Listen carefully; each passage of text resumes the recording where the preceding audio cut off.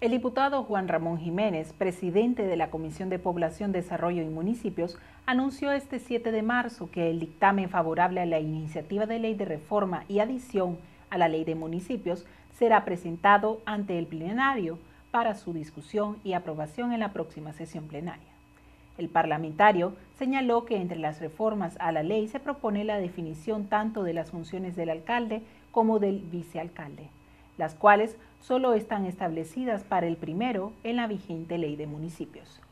Ya la vicealcaldesa ya no va a ser una, figura decorativa o vicealcalde, ya no va a ser una figura decorativa, sino una figura que va a tener funcionalidad, responsabilidad y obligaciones ante la sociedad nicaragüense. ¿Qué se consultó ayer? Bueno, ya teníamos consulta con Amonic, con el INIFON, y ayer nosotros, inclusive tenemos cartas del INIFON, de, de, donde se hizo un consenso sobre esta ley y nos mandaron una carta que se lo podía demostrar a los medios para... Ustedes saben que Amonix es la parte que, que mira todos los municipios, los alcaldes, y estaban en acuerdo de esta iniciativa de ley. En conmemoración al Día Internacional de la Mujer, la Asamblea Nacional, a través de la División de Acceso a la Información Pública y Seguridad Alimentaria, organizó el encuentro denominado Mujeres Productoras seguridad alimentaria y nutricional, en el cual dieron a conocer una propuesta de reforma a la Ley General de Cooperativas con enfoque de equidad de género. El evento inaugurado por la licenciada Dora Celedón, directora de la División de Participación Ciudadana y Seguridad Alimentaria, y auspiciado por la Organización de las Naciones Unidas para la Alimentación y la Agricultura FAO y Plan Internacional Nicaragua, tuvo como fin reunir a un centenar de mujeres productoras de diferentes zonas del país, quienes participaron en el encuentro y expusieron sus experiencias, realidades y demandas. Según el representante de FAO en Nicaragua, las mujeres rurales desempeñan una función clave en la seguridad alimentaria, pero no tienen igualdad de acceso a los recursos y oportunidades necesarias para ser más productivas. En Nicaragua sabemos que en los hogares rurales la mujer juega un rol muy importante, pero todavía faltan también igualdad en acceso a educación, en acceso a propiedad, en acceso a otros servicios públicos.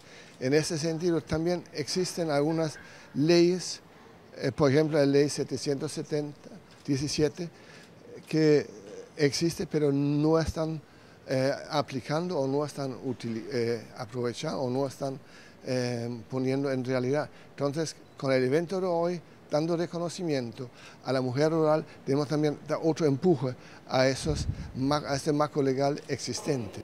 Diputadas que asistieron al encuentro destacaron los esfuerzos que en materia de equidad de género ha impulsado la Asamblea Nacional y se comprometieron en seguir apoyando políticas en beneficio de las mujeres. Hemos avanzado en algunas leyes muy importantes para el sector rural, tanto hombres como mujeres, como la Ley de Seguridad y Soberanía Alimentaria, ¿verdad? Que ya es un instrumento que fue aprobado aquí en la Asamblea Nacional. Eh, aprobamos una ley para la compra de tierra para las mujeres que no la tienen. Eh, entiendo yo que incluso ya está un reglamento de esa ley, sin embargo se ha dado pocos pasos para el efectivo cumplimiento de la ley. Creo que es importante que se incorpore eh, como un interés, ¿verdad?, de seguimiento desde la FAO, como desde la Asamblea, como desde otras instituciones, para ver, porque entendemos que el principal limitante son los recursos financieros para la aplicación de la compra de tierras para las mujeres que no tienen tierra.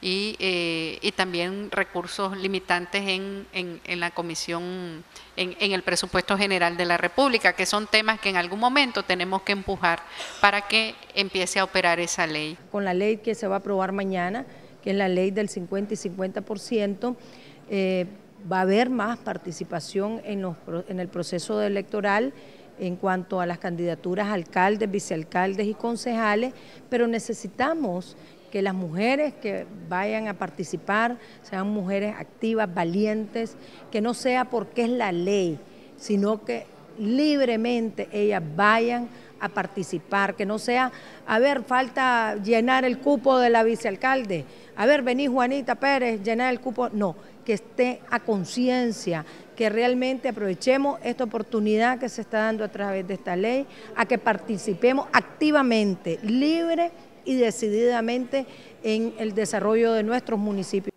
En el encuentro, las mujeres organizadas en la Federación de Mujeres Productoras del Campo de Nicaragua, FEMUPROCAM, y el Grupo de Mujeres Productoras ProMujer presentaron a las parlamentarias una propuesta de reforma a la Ley 499, Ley General de Cooperativas, la que pretende incorporar el enfoque de equidad de género.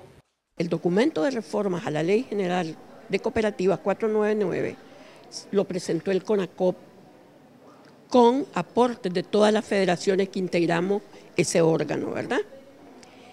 Pero nosotras como Federación de Mujeres Productoras del Campo estamos haciendo una propuesta de incluir en la reforma el enfoque de igualdad de género. Concretamente es eso lo que nosotros estamos haciendo, desde el lenguaje hasta aquellos aspectos que como mujeres nos benefician y quitando aquellos que como mujeres nos afectan. La Asamblea Nacional, a través de la División de Acceso a la Información Pública y Seguridad Alimentaria, promueve y desarrolla la participación ciudadana la que facilita la interacción fluida entre el Poder Legislativo y la ciudadanía. Susana Pérez Villalta, Noticias, Asamblea TV.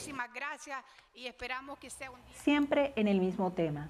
Las mujeres productoras que asistieron al encuentro de este 7 de marzo valoraron de positivo el evento organizado por la Asamblea Nacional con el auspicio de FAO y Plan Internacional organismos que promueven la equidad de género en el acceso a los recursos, los bienes, servicios y la toma de decisiones en las zonas rurales.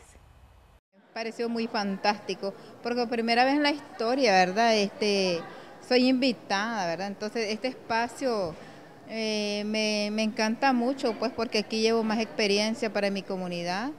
Y sobre todo, ¿verdad? Este, es un prestigio pues para mí estar aquí. Eh, y también ver, ¿verdad?, la exposición que hacían las compañeras diputadas, sobre todo la, compañera Alba Palacio de la Seguridad Alimentaria. Y lo bueno, ¿verdad?, que creo que me siento que estamos siendo tomadas en cuenta como mujeres, como líderes comunitarias. En la comunidad donde yo estoy, en la comunidad de Bunsirpi, yo trabajo, yo soy una eh, facilitadora de voluntarios del pueblo, pues y pues me gusta cómo trabaja Plan Nicaragua y nos apoya en todo. ¿Para qué? Para los niños. Pues a mí me gusta hacer pan de coco, pan de pan simple, me gusta hacer queque de quiquiqui, queque de yuca, queque de banano, pues me gusta hacer todo eso. Mientras tanto, miembros de la Comisión de Asuntos de la Mujer, Niñez, Juventud y Familia sostuvieron un encuentro este 7 de marzo con el representante del Programa Mundial de Alimentos en Nicaragua, señor Elmut Rauch, con un primer acercamiento para trabajar conjuntamente en temas relacionados con la política de género. Esta reunión de trabajo fue solicitada por el representante del Programa Mundial de Alimentos, quien está interesado en apoyar la legislación relacionada con la alimentación con perspectiva de género. Nosotros tenemos también considerado cómo la Comisión puede trabajar en el futuro con el PMA, especialmente en la óptica de apoyar la política de género en el trabajo legislativo. Sí, este era un primer acercamiento que teníamos, ¿verdad?, con el representante del Programa Mundial de Alimentos. Eh, Incluso ellos estaban interesados, solicitaron este encuentro con las diputadas y diputados de la Comisión de Asuntos de la Mujer, eh, Juventud, Niñez y Familia, eh, donde ellos expusieron, ¿verdad?, sobre todo el rol que juegan como Programa Mundial de Alimentos para lograr eh, no solo lo que es ir disminuyendo esas brechas del hambre y la pobreza, sino también cómo darle un enfoque también de género a estos programas que se impulsan eh, en el país y nosotros pues nos sentimos y le le agradecemos a ellos, ¿verdad?, por todo el, el apoyo y el respaldo que también le han brindado a nuestro país en cuanto a lo que ha sido el programa de alimentos que se le da, sobre todo la merienda escolar que se le da a casi un millón de niños en nuestro país. En unos instantes en el resumen semanal, Corte Suprema de Justicia expone a legisladores iniciativa de Código Procesal Civil.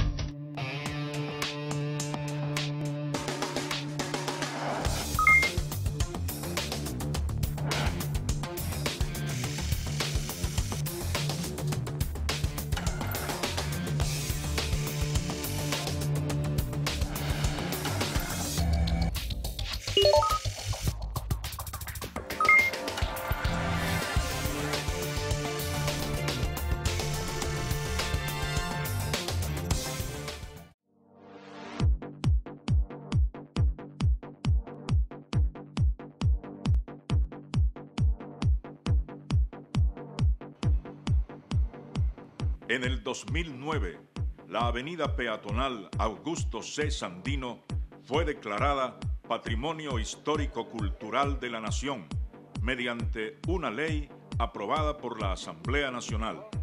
De esta forma se inició la habilitación de la antigua Avenida Roosevelt.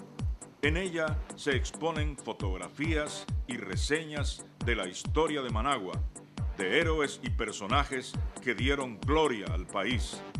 De manera gratuita se puede asistir de lunes a domingo desde las 8 de la mañana hasta las 6 de la tarde, a excepción de los días de sesión plenaria. Asamblea Nacional, legislando para vos.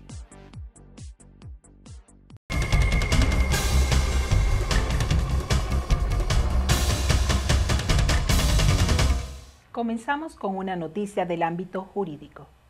Oralidad, inmediación, celeridad, concentración procesal son, entre otras, las novedades de la iniciativa de Código Procesal Civil de Nicaragua, expuestas este 6 de marzo por la presidenta de la Corte Suprema de Justicia, magistrada Alba Luz Ramos, y la magistrada Ligia Molina de la comisión redactora de este anteproyecto presentado ante el plenario de la Asamblea Nacional.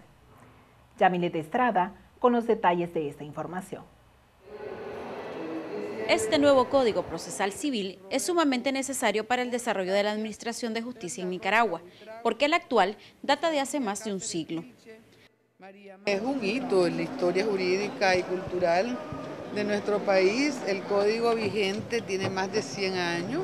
Eh, estableció un juicio escrito, eh, engorroso, tardado, lleno de incidentes y de recursos horizontales y verticales, ¿verdad? Que hace casi imposible poder llegar a la meta final, ¿verdad? En los juicios civiles. Después de ser remitida a la Comisión de Justicia y Asuntos Jurídicos la iniciativa de Código Procesal Civil, en cortesía de sala las magistradas Ramos y Molina expusieron detalladamente los alcances de la iniciativa de ley de Código Procesal Civil.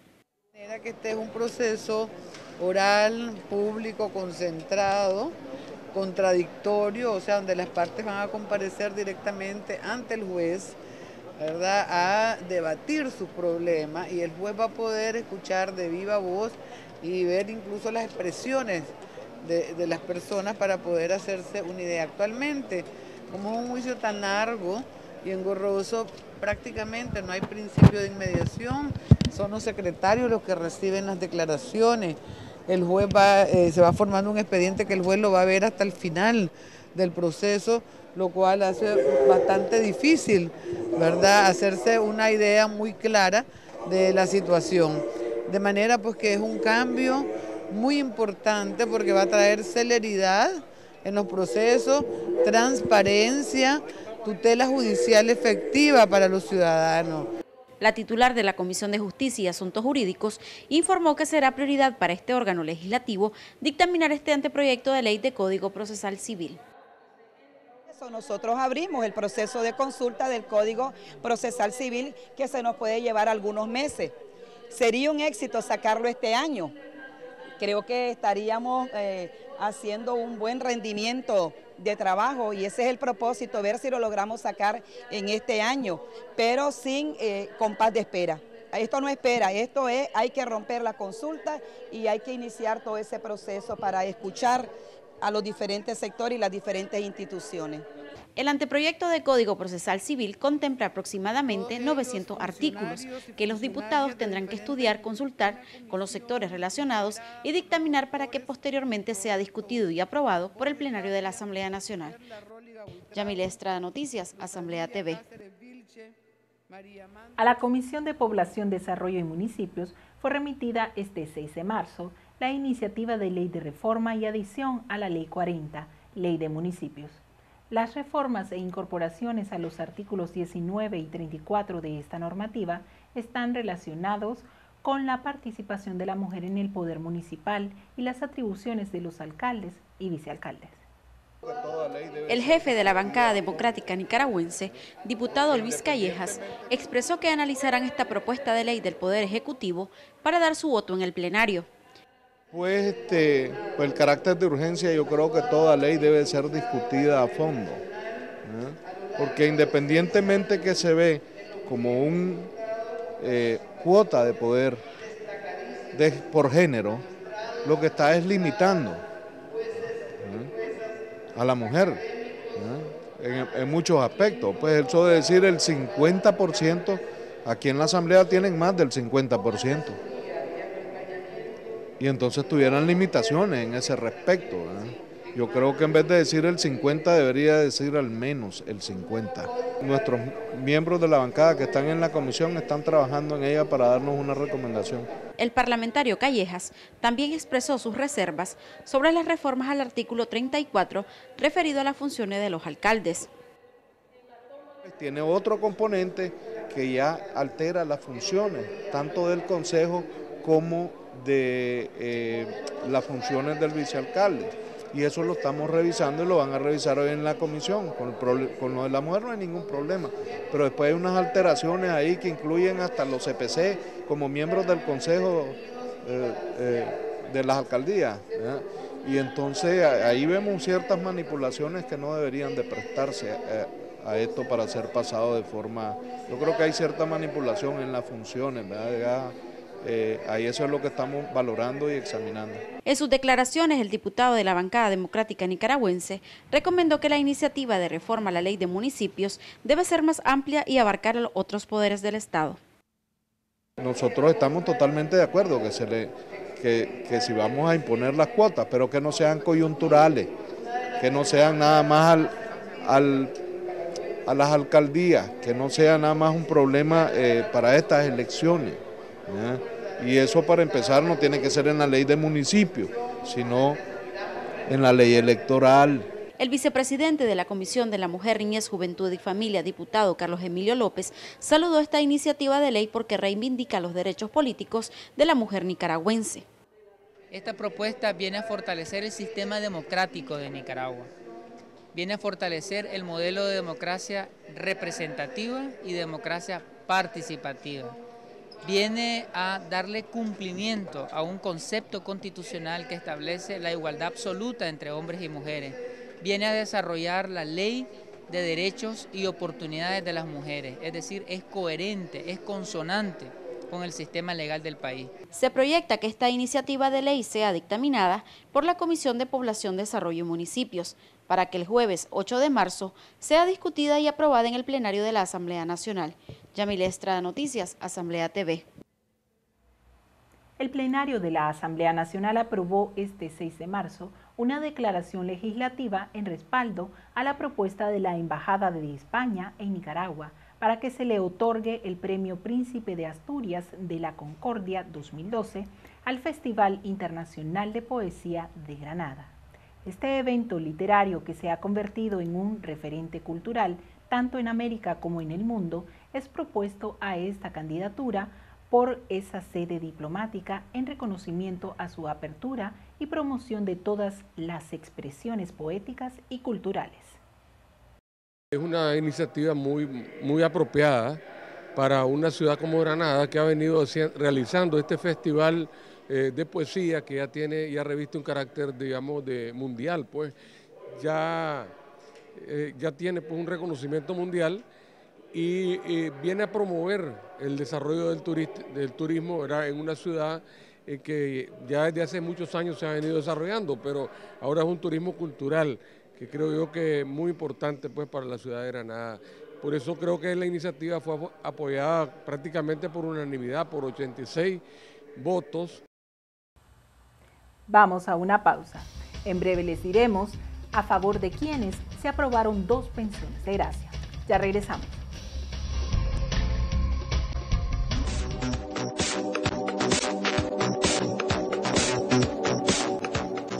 Cuatro edificios conforman el complejo legislativo Carlos Núñez Telles. Con esta decisión legislativa se pretende conservar para las futuras generaciones el valor histórico y cultural de este conjunto urbano, distinguido con el nombre de personajes que dieron gloria al país y hechos históricos que prevalecen en el recuerdo.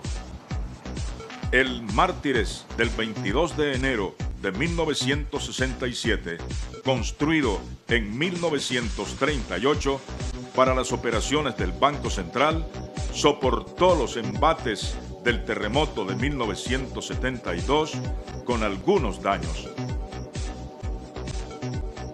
El de las bancadas parlamentarias, General Benjamín Celedón, edificado en 1970 para uso del Banco de América. También uno de los pocos edificios que resistió el terremoto de 1972, convirtiéndose en una referencia histórica para la arquitectura. El edificio Presbítero Tomás Ruiz fue fundado en 1982. En él se ubican las oficinas de la Junta Directiva del Parlamento. El de más reciente cimentación es el de Comisiones Parlamentarias General José Dolores Estrada, inaugurado en el 2006, iniciando así con el proceso de modernización del Parlamento. Asamblea Nacional, legislando para vos.